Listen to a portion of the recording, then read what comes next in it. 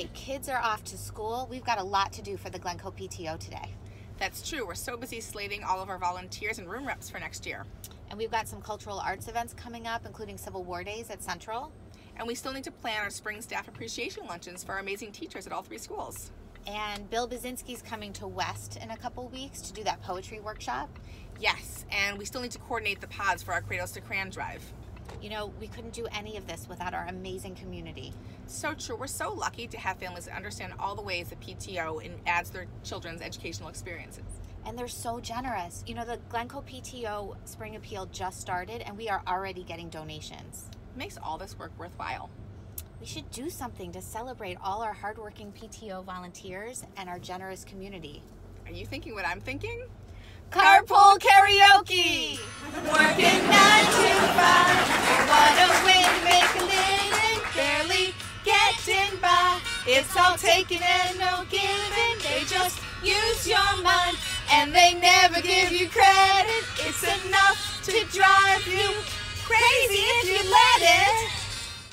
We are so lucky to have such great schools in District 35. That's true.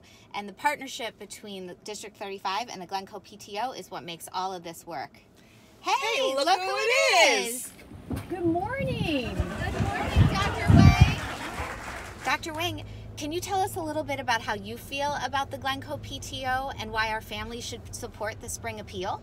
Oh, I'd love to. I am so proud to work in a district which really values the partnership of parents and teachers to support our children.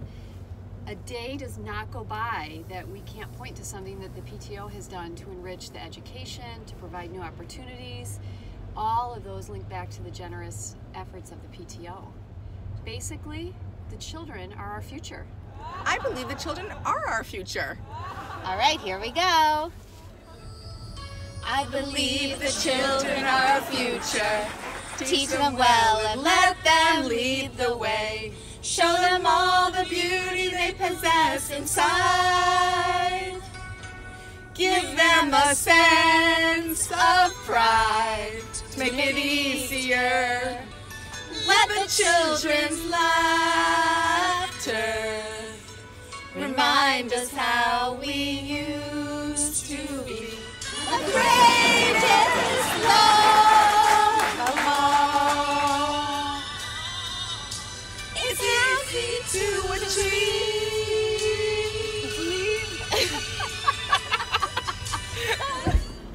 Ranji. Well, hello. I'm so glad to join you. Come on in. Come on, join the party. Oh my gosh, what a lovely morning. I know. You know, the PTO does so much for us. When I think of it just in the fall, thank you for all the cakes.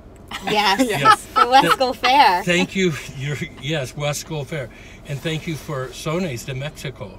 Yes. That comes in and, uh, for cultural uh, arts. And thank you for, oh my gosh, Bill Brzezinski is coming in. And today we even have a couple of engineers in teaching, helping teach science to our fourth graders.